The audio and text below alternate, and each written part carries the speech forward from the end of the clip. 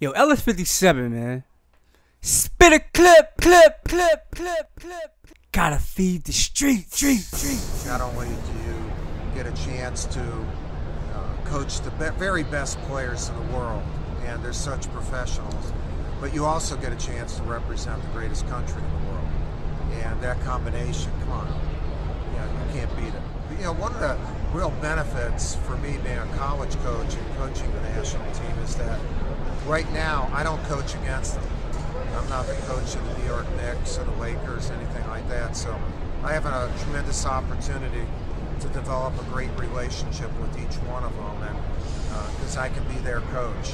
You know, I've been a part of USA basketball for a long time. I was an assistant coach on the Dream Team, and wow, what an experience that was to really have the greatest team that's ever been assembled, and well, the ultimate honor of for a coach is to coach the USA national team, and I've had that honor for over a decade. Uh, not only do you get a chance to uh, coach the be- very best players in the world, and they're such professionals, but you also get a chance to represent the greatest country in the world. And that combination, come on, yeah, you can't beat it. You know, one of the real benefits for me being a college coach and coaching the national team is that right now I don't coach against them.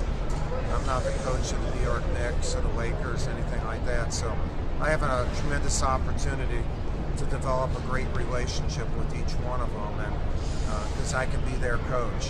You know, I've been a part of USA basketball for a long time. I was an assistant coach on the Dream Team, and wow, what an experience that was to really have the greatest team that's ever been assembled. And